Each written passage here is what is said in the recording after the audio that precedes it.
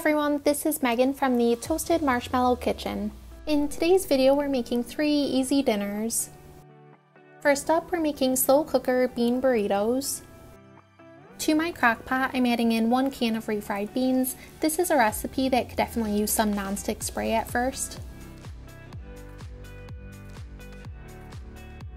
Next I'm adding in 4 ounces of cream cheese, half a cup of sour cream, and then half a cup of salsa, which I didn't realize I was supposed to use 1 cup.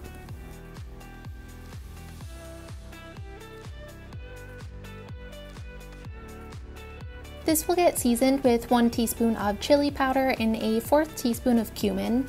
I'm also adding in shredded cheddar cheese and then giving this a quick stir. This will be easier to mix together once everything is warm. This will cook on low for 4 hours. When dinner was ready, I microwaved a tortilla shell for about 12 seconds, then I'm spreading a nice amount of the bean mixture on top.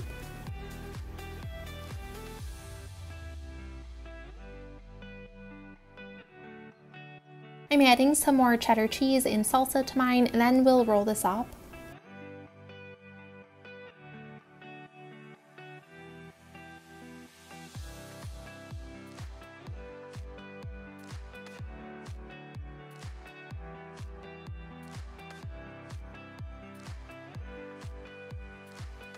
This made the canned refried beans a lot creamier than they normally are. This made for really good nachos the next day too.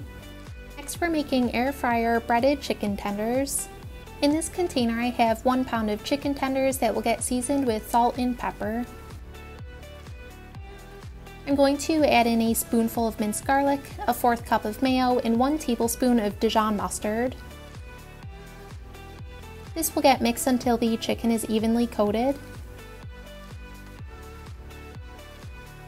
Now over to a small bowl, I'm adding in one cup of breadcrumbs, half a teaspoon of salt, an eighth teaspoon of pepper, and a fourth cup of Parmesan cheese. This will get whisked together and then we'll use this to bread the chicken. This amount of breadcrumbs was actually the perfect amount.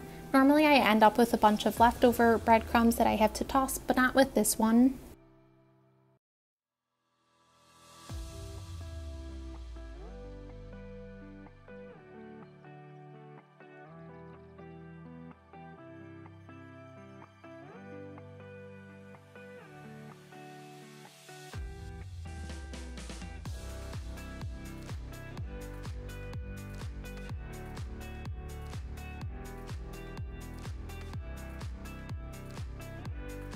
I'm lightly spraying my air fryer basket with 100% avocado oil, then I'm going to add in the chicken tenders. I had to do two batches with mine.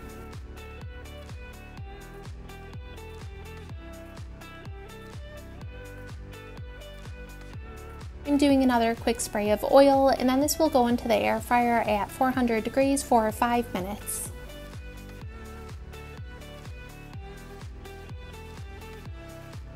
After the 5 minutes, the chicken will get flipped over and go back in for another 5 minutes until fully cooked.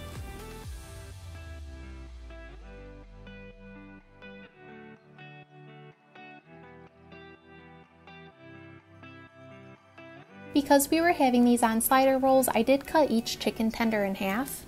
Next time I think I'll season the chicken and breadcrumbs a little bit more, but this was still a really nice and simple recipe. Making Bang Bang fish tacos. To start, I'm using these fish sticks from Aldi and cooking them according to the package directions.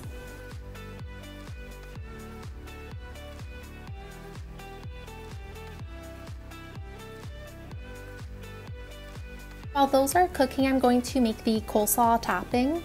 To a large bowl, I'm adding in one package of this classic coleslaw, a fourth teaspoon of ground ginger, a dash of salt, a spoonful of minced garlic, 2 tablespoons of lime juice, 1 tablespoon of maple syrup, but the recipe does call for honey, and then 1 tablespoon of olive oil.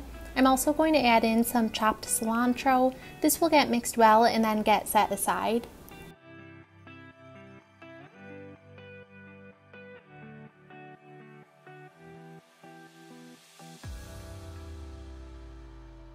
For the sauce that will go over the tacos, I'm adding a drizzle of buffalo sauce to about half a cup of mayo. I'm not using the sauce from the recipe just because I really like this one. Now that the fish sticks are ready, I'm adding three to each tortilla.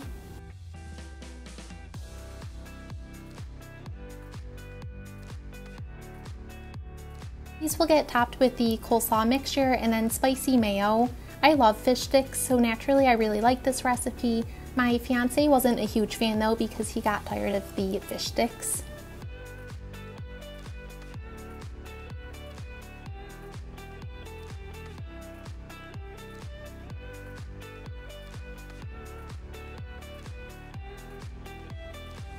Thanks for watching. All recipes will be linked in the description box.